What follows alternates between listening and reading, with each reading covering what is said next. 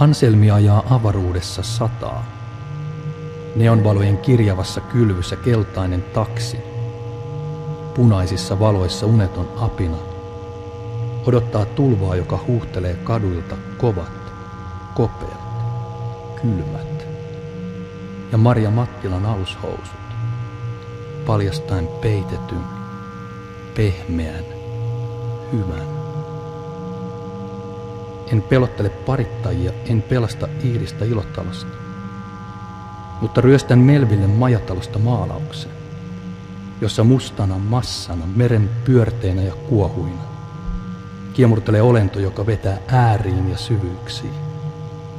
Upottaa levään ja liajuu, missä aaveet kuiskaavat. Jos olemme tottelevaisia Jumalalle, on meidän oltava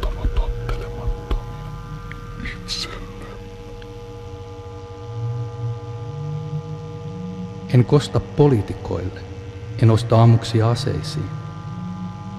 Mutta astelen vaalitoimistoon, missä Betsi istuu valkeana edessään arkit, jotka eivät säästä yksinäisyydeltä eivätkä suurelta sateelta ja kysyn.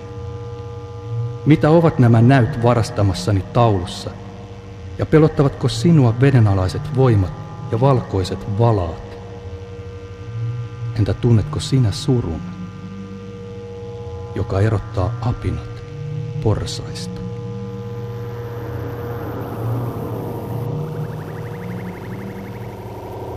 Anna kerron, kuinka hulluksi tämä yksinäisyys ajaa. Merkitköön valkoinen Jumalan verhoa, tai kaikkeuden sydämetöntä tyhjyyttä tai syljemme sylkeä. Puhtaasta rakkaudesta kirjoitan faapelin, jossa eläimet nousevat aluksiin alkupareina ja täyttävät avaruuden aavikot. Täältä Jumalan yksinäinen apina tulee sinun sydämeesi ja housuihisi sataa.